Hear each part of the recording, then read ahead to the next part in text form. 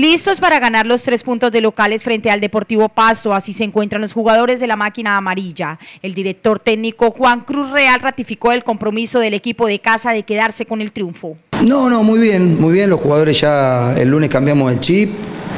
Como decía anteriormente, estábamos dolidos por el resultado, por la ilusión que teníamos del partido de sumar y por cómo jugó el equipo. Pero ya pensamos en el jueves, nos preparamos de la mejor manera, viendo la, eh, eh, tratando de trabajar en la virtud del rival que tenemos que neutralizar, pero sobre todo pensando en las cosas que tenemos que hacer nosotros para ganar el partido.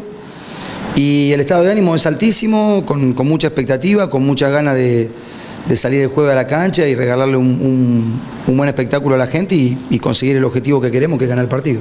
Cruz agregó que aunque el visitante también viene con ganas de ganar, los de casa harán respetar la plaza. Creo que de los equipos que arrancaban en esa famosa zona de abajo, me da la impresión que es el que mejor se reforzó en cuanto a nombres, ¿no?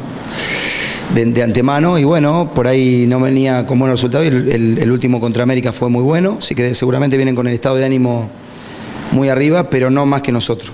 Nosotros sabemos que es un partido muy importante, que estamos en casa, sabemos, eh, estamos en la misma situación que antes de Jaguares, exactamente en la misma situación. Eh, y nosotros sabemos que acá en casa, en tanto y en cuanto sigamos sumando como esperamos, vamos a estar cerca del objetivo final. Este encuentro deportivo será mañana jueves santo a las 7 y 30 de la noche. Raro, es raro, es raro. La verdad que nunca me tocó jugar un jueves santo, nunca. Pero bueno, toca, ¿qué va a hacer?